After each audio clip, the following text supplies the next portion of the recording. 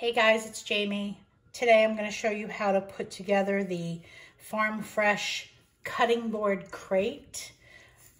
In the file, you will get two of the chicken wire sides, a front and a back cutting board, the bottom, and also all of these pieces, which will make a frame. You'll also get an optional handle. If you want to use it, you can. If not, you don't have to. Those are the caps that will go on the end. So let's go ahead and get started. The first thing I do is I take one of the sides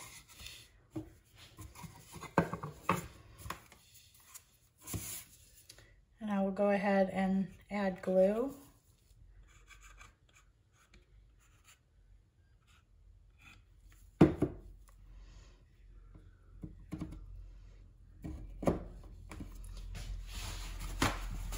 When you do this, make sure that you have the scored on the outside because I scored the barbed wire just to give it a little something extra. And we will go ahead and do the same thing on this side.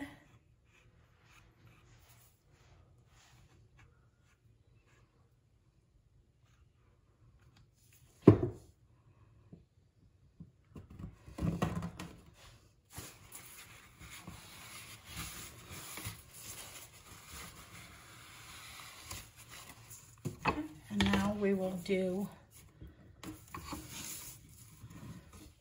the other.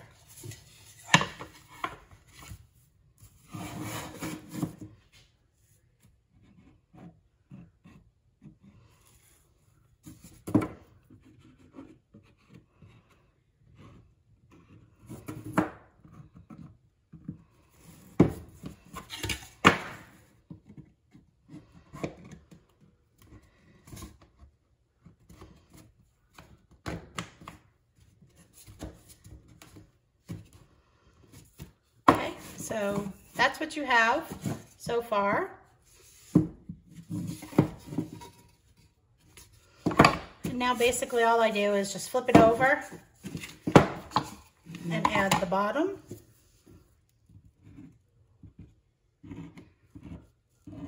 You can also pin nail this if you wanted to.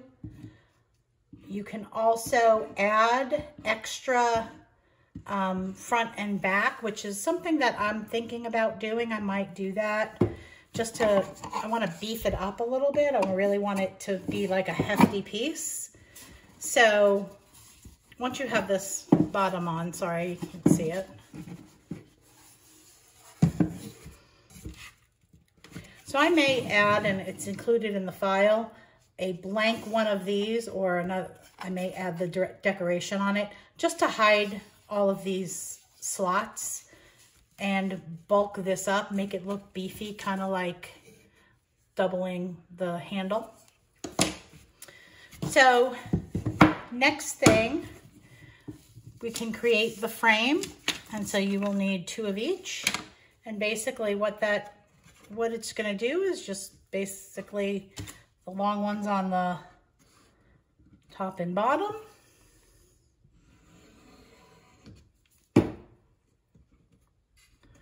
aligning with the top.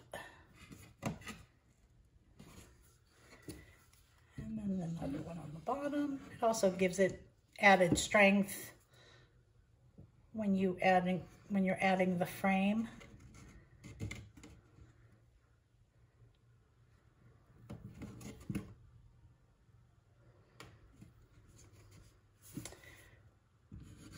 And we'll insert the sides.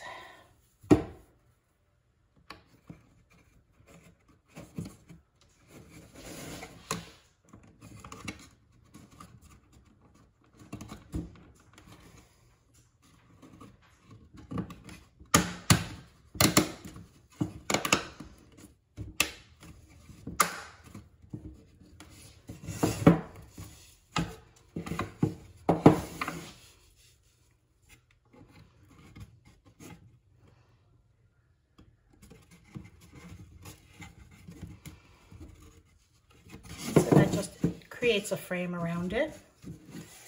And we'll do the same thing to the side.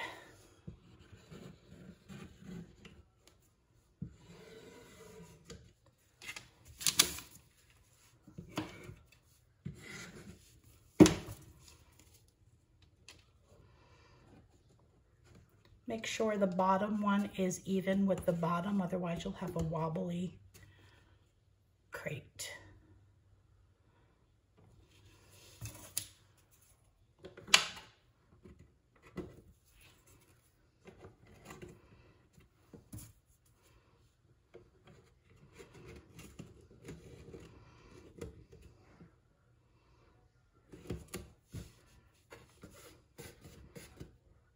Okay so that's how you put it together. Super simple.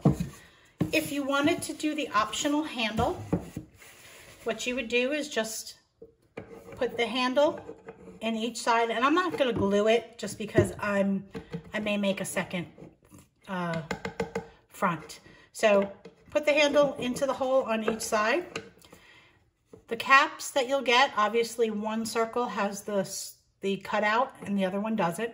This is just so it's a more finished look. And you'll put it on the ends.